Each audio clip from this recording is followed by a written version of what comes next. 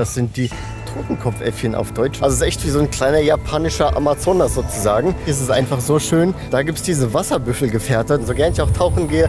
Ich glaube, ich hatte noch nie so einen heftigen Tag wie gestern. Und ich glaube, keiner von uns will der blöde Touri sein, der so eine Katze mitgenommen hat. Dass die Sonnenstrahlen hier unten etwa siebenmal stärker sind. Jo Leute, was geht? Senpai am Strand und herzlich willkommen zu einem neuen Video. Leute, ich bin hier für circa eine Woche unterwegs am südlichsten Zipfel Japans und nehme euch einfach mal mit auf die Reise. Ich stelle euch in diesem Video mal eine Handvoll Aktivitäten vor und Spots, was man so machen kann, wo man so hin kann, hier am südlichsten Zipfel Japans. Viel Spaß! Falls das Video zu lang wird oder ihr keine Zeit habt oder beides, dann springt einfach durch das Video. Ich habe euch die Kapitelmarken unten reingepackt, die Timestamps, ne? da könnt ihr zu den Stellen springen, die euch interessieren. Viel Spaß! So, was ist überhaupt der südlichste Zipfel Japans? Das ist im Prinzip die Insel Ishigaki, beziehungsweise Ishigaki und die kleineren Inseln drumherum. Ishigaki selbst hat den südlichsten Flughafen, den ihr erreichen könnt von Tokio aus mit einem Direktflug. Also wenn ihr von Haneda oder Narita losfliegt, könnt ihr direkt nach Ishigaki runterfliegen. Und deswegen ist Ishigaki so hier ganz unten quasi die Hauptinsel. Die technisch südlichste Insel ist Hateruma-jima. Die Insel Hateruma, die liegt nochmal ein Stückchen unter Ishigaki. Und es gibt hier auch nebendran die westlichste Insel Japans. Das ist Yonaguni-jima, also die Insel Yonaguni. Und wenn man auf Yonaguni ist, dann kann man quasi wirklich so gefühlt nach Taiwan rüberspucken. Da ist man schon fast in Taiwan. Also es ist echt krass, wie weit südlich Japan runterreicht. So, los geht's. Fangen wir an mit dem ersten Spot, mit der ersten Aktivität sozusagen. Ich bin hier nämlich eigentlich gar nicht auf Ishigaki, sondern ich bin hier auf der Insel Taketomi. Taketomi-jima. Das ist eine klitzekleine Insel, die südwestlich von Ishigaki liegt. Und da kann man easy rüberfahren mit der Fähre von Ishigaki. Das dauert nur 15 Minuten, dann ist man hier direkt da. Und Taketomi-jima hat, glaube ich, nur so zwei, drei Kilometer Durchmesser. Also die Insel ist echt nicht groß. Das heißt, das Erste, was ihr macht, wenn ihr hier mit der Fähre ankommt, ihr mietet euch am besten erstmal ein Fahrrad. Dann könnt ihr easy um die Insel radeln. Das ist alles sehr easy zu erreichen und die Insel ist relativ flach und wie gesagt echt nicht groß. So, was gibt es jetzt auf Taketomi-jima? Eigentlich nicht so viel. Also die Insel besteht im Wesentlichen aus dem Dorf in der Mitte und es gibt hier auf der Westseite so die zwei Hauptstrände. Das ist einmal der Kondoi Beach und einmal der Kaiji Beach und ich bin hier gerade irgendwo so dazwischen. Also da ist der Kaiji Beach und da ist der Kondoi Beach. Der Kondoi Beach ist ganz gechillt so zum Baden und Planschen, ist ganz nice. Und der Kaiji Beach ist bekannt für den Hoshizuna, also den Sternensand quasi. Da gibt es echt so Sandkörner, die so eine Sternform haben. Ist, glaube ich, ursprünglich Plankton, aber es sieht auf jeden Fall ultra cool aus. Man kann es auch in so kleinen Fläschchen kaufen. Allerdings darf man das nicht einfach hier aufsammeln und mitnehmen, das ist verboten. Zum Dorf selbst ist noch zu sagen, dass die hier sehr darauf achten, dass das Dorf traditionell erhalten wird. Also die ganzen Häuser und Gebäude, die sind im traditionellen Ryukyu-Stil, ist das, glaube ich, wahrscheinlich erhalten und bleiben auch so. Das heißt, dass das Dorf hat eine schöne quasi historische Landschaft zu bieten. Und ansonsten, was auch noch ganz interessant ist, man kann hier eine 30-minütige Wasserbüffel-Tour machen durch die Stadt. Na, da gibt es diese Wasserbüffel, die dieses Riesengerät ziehen. Kostet, glaube ich, 1500 Yen oder so. Dann kann man da drauf und dann wird man mit dem Wasserbüffel durch die Stadt gezogen. Und ich glaube, viel mehr gibt es auf Taketomijima einfach nicht. Dafür ist die Insel viel zu klein. Deswegen hier ist einfach super, um einen Tag am Strand zu chillen, abzuhängen, sich einen lauen Lenz zu machen und zu entspannen. Als nächstes hätten wir dann auf der Liste Tauchen falls ihr es noch nicht mitbekommen haben solltet, das Meer ist hier einfach so schön, dass sich hier definitiv ein Tauchgang lohnt. Man hat häufig klare Sicht, es gibt unglaublich viel zu sehen hier im Meer. Es gibt wunderschöne Fische, deren Namen ich mir alle nicht merken kann. Und ich habe sogar den Findet Nemo Fisch getroffen, dessen Namen ich auch nicht kenne. Also Leute, falls ihr Interesse am Tauchen habt, dann ist das definitiv eine gute Idee.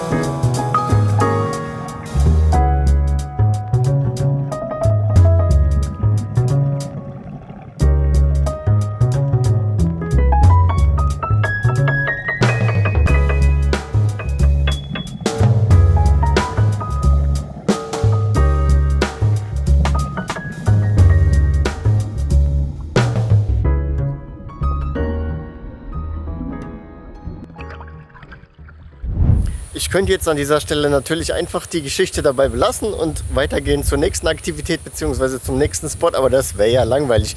Leute, ehrlich gesagt, also so gern ich das Tauchen auch habe und so gern ich auch tauchen gehe und so viel Spaß es mir auch macht, ich glaube, ich hatte noch nie so einen heftigen Tag wie gestern. Also das, was ihr gerade gesehen habt, war der erste Tauchgang. Das war nice, aber danach wurde es einfach heftig. Also ich habe drei Tauchgänge gebucht und wir sind mit dem Boot rausgefahren, halt mit so einer Crew ne? und anderen Tauchern und hatten dann vom Boot aus drei Tauchgänge. Und der erste war wie gesagt easy und danach Tauchgänge 2 und 3 waren einfach so heftig. Das habe ich noch nicht gemacht. Wir sind nämlich vor Idiomotte, vor dem japanischen Dschungel sozusagen. Da sind wir angehalten und sind dann ins relativ tiefe Wasser um nach Mantas zu suchen. Denn da ist ein Spot, wo eigentlich täglich Mantas sind. Nur da ist dann aber auch Strömung in dem Meer und das ist wohl relativ tricky, das zu navigieren und ich bin eigentlich nicht so ein erfahrener Taucher. Das heißt, ich war eigentlich nur damit beschäftigt, dem Tauchlehrer hinterher zu paddeln und der hatte so eine Schnur, die ich festgehalten habe, damit ich halt nicht zu sehr vom Tauchlehrer mich entferne aus Sicherheitsgründen und so dass er mich auch ziehen kann, sollte ich aus eigener Kraft nicht hinterher paddeln können. Und normalerweise ist Tauchen eigentlich relativ entspannt, zumindest das Tauchen, was ich kenne. Ne, man will ja auch nicht zu krass sich bewegen, um nicht zu viel Luft zu verbrauchen. Man hat ja nur den einen Tank und gestern aber das war einfach hardcore. Also ich habe die ganze Zeit gepaddelt und richtig Kraft verbraucht. Also es war richtig Sport, das hatte ich echt noch nie. Und dazu kommt noch, dass das Boot die ganze Zeit gewankt hat. Also schon nach dem ersten Tauchgang ging es los. Es hat einfach komplett gewankt. Mir ist richtig schlecht geworden. Das heißt, schon beim Start des zweiten Tauchgangs habe ich gefragt, packe ich das überhaupt? Wobei im Wasser ging es dann. Und es haben sich sogar zwei auf dem Boot übergeben, weil es so krass gewankt hat. Und ich war auch kurz davor, boah, Hardcore. Und da wir beim zweiten Tauchgang die Manta leider nicht gefunden haben, leider nicht getroffen haben, haben wir uns dann dazu entschieden, nochmal zu dem Spot zu fahren und nochmal von dort aus zu tauchen.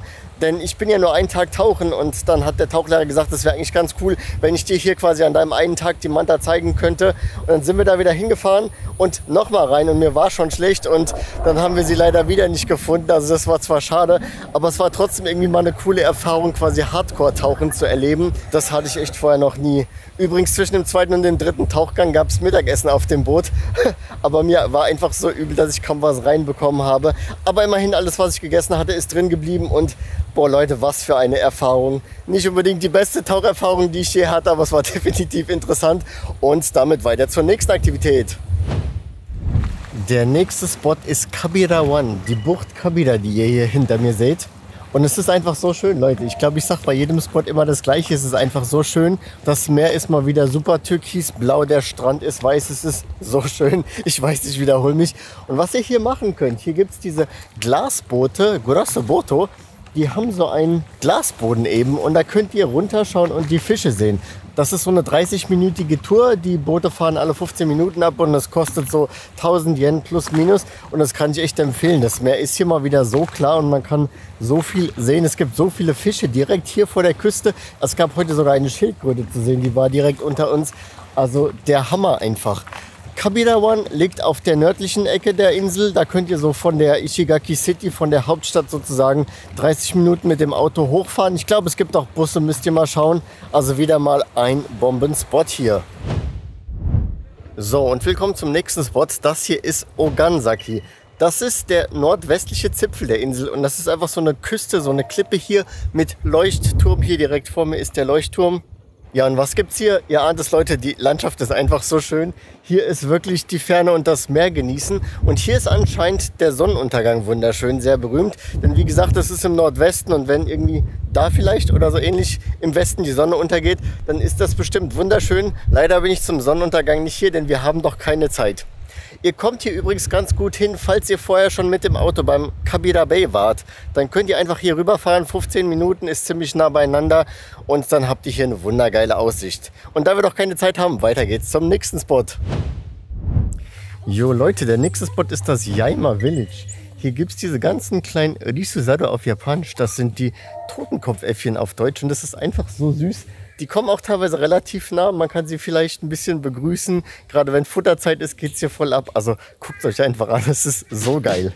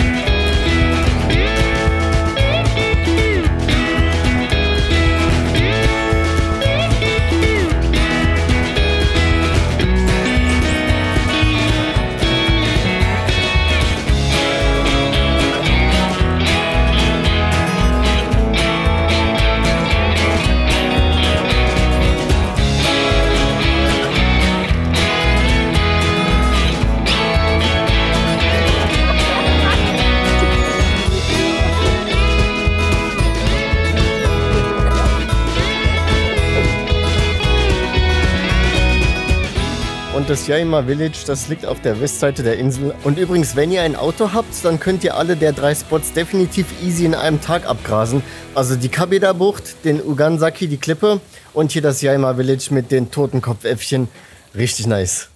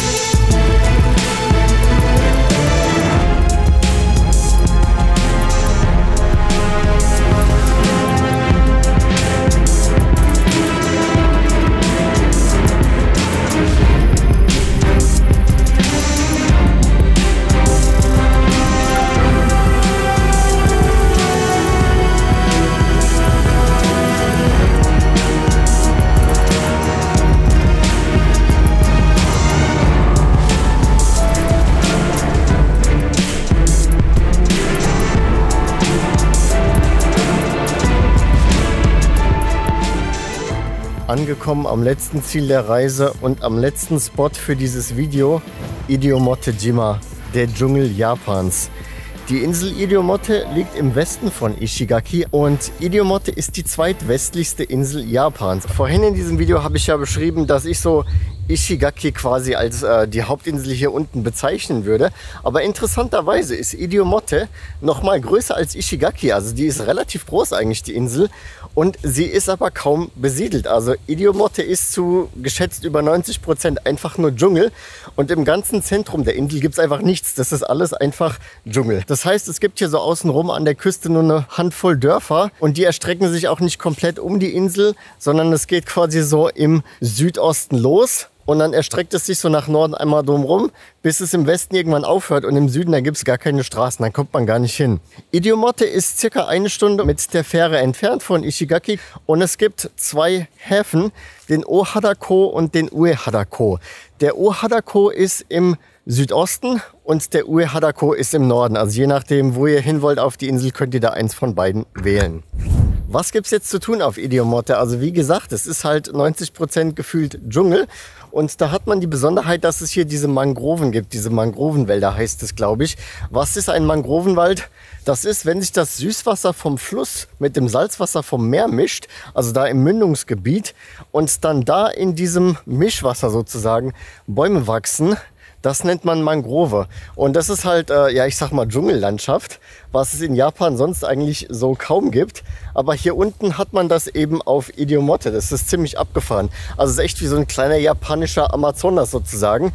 Es gibt auch noch Mangrovenwälder oben im Norden von der Hauptinsel von Okinawa. Da Yambadu, da hat ja auch das Zipline Adventure gemacht. Könnt ihr gerne noch mal reinschauen. Aber da sind wir nicht irgendwie zum Mangroven oder so. Aber hier auf Idiomote gibt es das eben auch.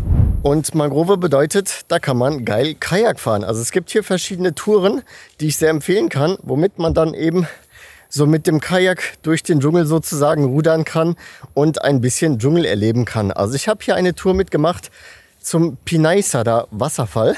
Das ist so ein Wasserfall da quasi im Dschungel. Da fährt man ein bisschen Kajak und dann hiked man durch den Dschungel.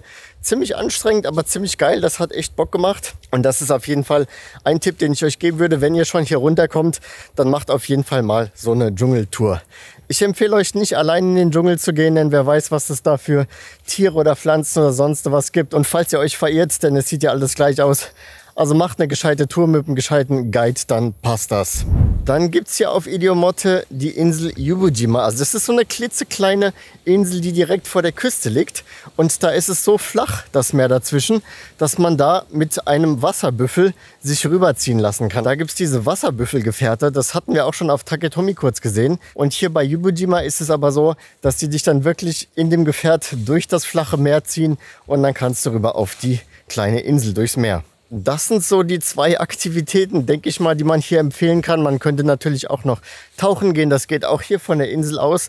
Und was ich euch unbedingt empfehle, also es ist zwar möglich, von Ishigaki quasi als Tagestrip rüber zu kommen und dann abends wieder zurückzufahren. Aber ich empfehle euch unbedingt eine Übernachtung einzulegen, denn hier ist es so dünn besiedelt, dass der Sternhimmel einfach so klar und so wunderschön ist. Wann hat man schon mal die Gelegenheit, so einen schönen klaren Sternenhimmel zu sehen? Das ist echt der Hammer. Also Leute, solltet ihr hierher kommen, legt unbedingt eine Übernachtung ein. Dann zu guter Letzt noch ein kleiner Fun Fact für die unter euch, die Japanisch können.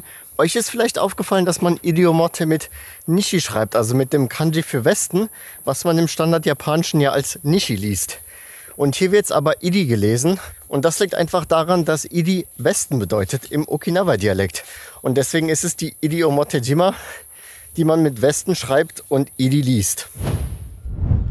Zwei Infos habe ich noch. Es gibt doch einiges zu erzählen zu Idiomote. Zum einen, auf Idiomote leben die Yamaneko. Das ist wörtlich übersetzt Bergkatze. Also es gibt hier Wildkatzen. Ich habe zwar keine selbst getroffen, aber die sind anscheinend so groß wie Hauskatzen. Heißen wie gesagt Yamaneko und die sind gefährdet. Da gibt es nicht mehr so viele von. Also es wird gesagt, dass es etwa nur noch 100 Tiere hier auf der Insel gibt. Und äh, traurigerweise kommt es immer wieder dazu, dass die in Verkehrsunfälle verwickelt werden. Also dass die quasi vom Auto mitgenommen werden. Und deswegen an dieser Stelle meine Bitte an euch, solltet ihr hierher kommen und euch ein Mietauto mieten und damit um die Insel cruisen. Haltet euch bitte an Speed Limit. Die Geschwindigkeit ist hier begrenzt auf 40 km/h auf der gesamten Insel und in Dörfern auf 30 km/h. Und ich meine, es verleitet so ein bisschen dazu, aufs Gaspedal zu treten, weil hier die Straßen meistens frei sind. Aber allein ne, für die Katzen sollte man sich an das Speed Limit halten. Denn ich glaube, keiner von uns will der blöde Touri sein, der zu fest aufs Gas getreten hat und dann so eine Katze mitgenommen hat. Das muss nicht sein und auch generell. Also es sind auch immer mal wieder Schildkröten oder Vögel Vögel oder so auf der Straße. Also es lohnt sich auf jeden Fall, das Tempo begrenzt zu halten und ein Auge auf der Straße zu halten. Und dann Punkt Nummer zwei, hier werden lokal Ananas angebaut. Und deswegen gibt es ja auch immer mal wieder Ananas zu kaufen oder Ananassaft. Und es gibt teilweise diese Mujin Hambai heißen die, also Ananasstände, wo man frische Ananas kaufen kann die nicht besetzt sind von einer Person. Also da ist einfach niemand und ihr könnt einfach das Geld reintun und euch dann so ein Ananasstück kaufen. Also ist richtig nice. Das kann ich euch echt empfehlen. So, ich bin zurück auf Ishigaki. Damit neigt sich meine Reise langsam dem Ende zu und auch dieses Video. Bevor ich mich verabschiede, habe ich noch zwei Bonustipps für euch.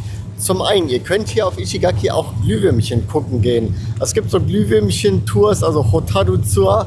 Hotaru ne, ist Glühwürmchen auf Japanisch und das soll wohl sehr cool sein.